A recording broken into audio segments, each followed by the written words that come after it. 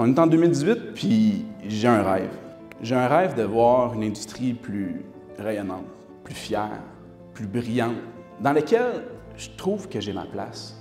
Où il y a plus de place pour la compétence, moins de place pour l'incompétence.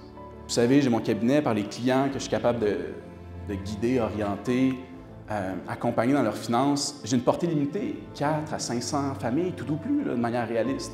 Avec le cabinet, peut-être 1000, 2000, tout ou plus.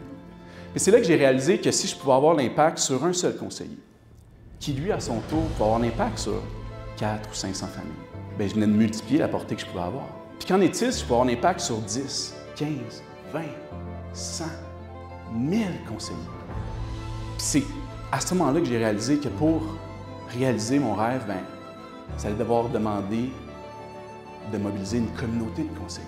Parce que oui, ce qu'on veut tous à la fin de la journée, c'est aider nos clients à avoir des meilleures finances, les guider, les orienter vers la réalisation de leurs projets, leurs rêves. Mais ce qu'on veut aussi, c'est être fier d'avoir accompli ce qui était vraiment important.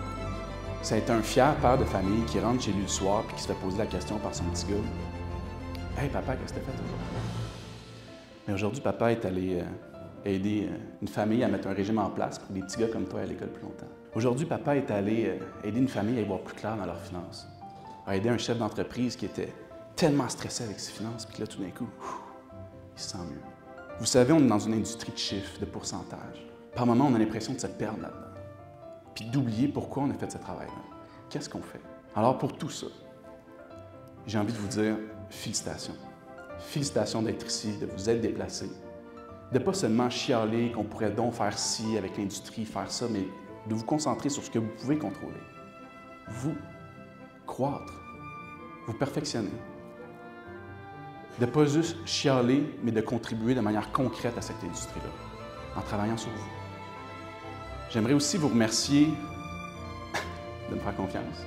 À quelque part, je sais très bien que vous auriez pu faire mille autres choses aujourd'hui. Vous avez dit, Marc-Étienne, tu sais quoi? Je te fais confiance. Je vais venir à ta patente. Je vais venir passer une journée complète avec toi pour qu'on puisse se former ensemble. Parce que c'est aussi une journée pour moi pour me former. Puis finalement, merci de me permettre de vivre ça. Merci. J'en ai des, des, frissons. Parce que, à quelque part, de vous voir tous ici réunis, c'est beau, c'est incroyable. Mais ça me permet de réaliser que j'ai réalisé une partie du rêve que j'avais en 2018. Alors sur ce, merci énormément.